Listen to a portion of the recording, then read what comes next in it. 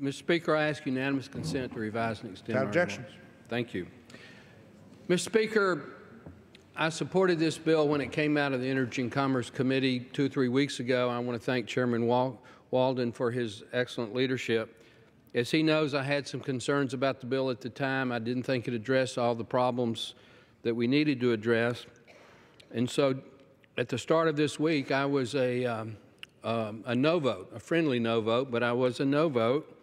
Um, but our Republican leadership in the House and the President and his senior advisors continued to um, involve themselves in constructive uh, discussions with people like myself.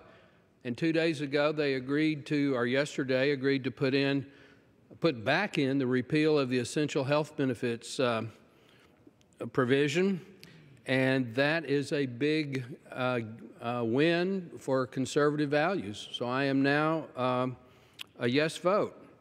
My friends on the left seem to think the only way to get a benefit is to have the federal government mandate it and then have the federal government pay for it. I'm here to tell you, Mr. Speaker, that markets work.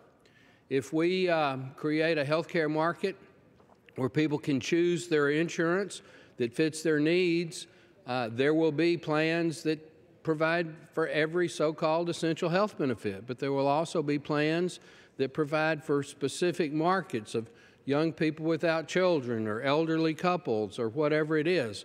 Mr. Speaker, markets work, and you don't have to mandate uh, benefits for those markets to work. Gentleman's time has expired.